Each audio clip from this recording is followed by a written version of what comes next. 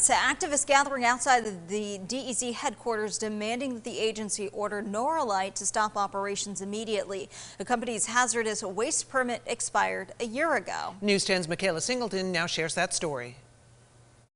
There's a cake and candles, but it's no one's birthday. Neighbors who live around the Norlite facility in Cohoes delivered this cake to DEC headquarters today. It represents one year since Norlite's hazardous waste permit expired. The DEC in the past has not done enough. I'm hoping with the new Hochul administration, uh, we can really focus on these environmental justice issues. Would they want to live 100 feet from this facility? I don't think so. Neighbors living in the shadow of the plant's smokestack say when the wind blows, dust blows into their homes from massive ash piles.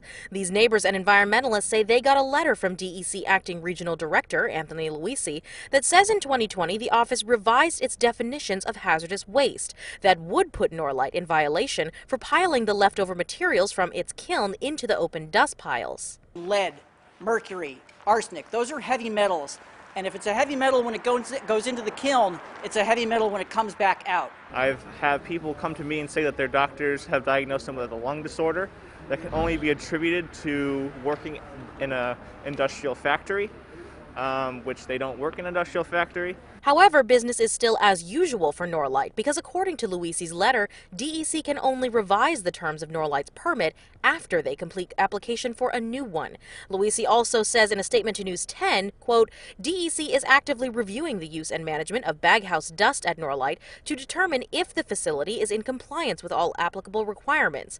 His statement adds this is just part of an ongoing investigation with the Attorney General's office looking into Norlite violations violations and unauthorized activities.